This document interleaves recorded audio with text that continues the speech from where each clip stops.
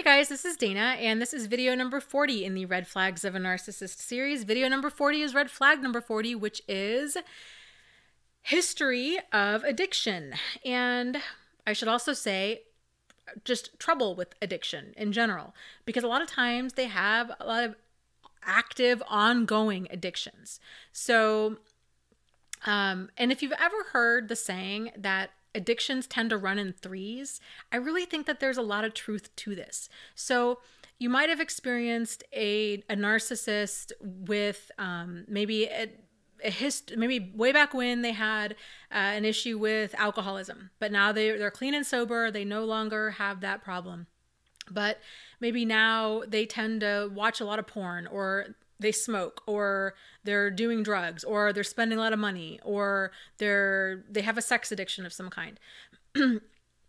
And and i think really why there's such a a high correlation between narcissism and addiction there's a couple reasons for this a lot of addict behavior is very similar to narcissists behavior. It's what is basically what is problematic about a narcissist is exactly what is problematic about an addict. So it's the same. It's the lying. It's the manipulation. It's the stealing. It's the um, level of selfishness and entitlement and exploiting of others and lack of empathy and lack of remorse. So at the core you're looking at kind of the same problems with personality and at the core as well, it's the same kind of disempowering behavior to themselves and to others. And it's kind of just that ineffective ways of handling life. Um, you know, and, and with narcissists too, it's they are also very thrill seeking. So it's they because they feel so entitled to do whatever they want to do, they you know it's kind of doing whatever they want to do whenever they want to do it as much as they want to do it with whomever they want to do it with. And so they might not see their problem their their addiction or their problem as an addiction. We might be the one that has the problem like legitimately because we're thinking to ourselves okay this is not normal for a person to to you know go to all these different sex clubs and to have sex with all these different people this really high risk behavior um, or to be drinking and driving and have multiple duis and be totaling out cars. And so a lot of victims tend to think you know if this if my if this person this narcissist can just get into rehab or if they can have enough therapy then i can have a relationship a nice normal balanced relationship with this person that may or may not be the case because, you know, a person can be an addict and not necessarily be a narcissist but they could also be an addict and be a narcissist. And then because there's so many overlapping traits there it can be really hard to see what are you really dealing with? Are you dealing with a person that's got you know a personality disorder? Um, or is it an addiction? And if they really did get help that this would clear up and that they would eventually become more kind of healthy and grounded and balanced. It's a gamble. And so just kind of be aware of that. I would also look for you know is your experience with this person is it problematic in many different ways outside of just their addiction? Um, and and also to kind of ask yourself you know how long are you willing to spend holding on to hope that this person's going to change and to get crystal clear with yourself. Because even if they are just an addict and i put that in quotes just an addict that's bad enough. I mean that's that's very disempowering to themselves and to you. That's enough to really cause a tremendous amount of damage and destruction and danger to your life and to the life of your children or whoever else is involved with this person who has all of this very disempowering behavior. So to get really crystal clear with yourself of how you know how long are you willing to hang in there?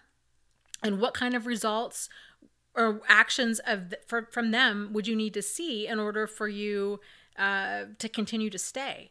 And keeping in mind too it's healthy and normal to have deal breaker behavior for other people that we have in our lives. I think a lot of us that are more on like the codependent side of the spectrum and, and kind of interestingly enough, the word codependency first came from Alcoholics Anonymous and kind of the study of alcoholics. And then they found that alcoholics had the problem of being an alcoholic, but then they also had the other part side of that coin was that their partner tended to be very much an enabler.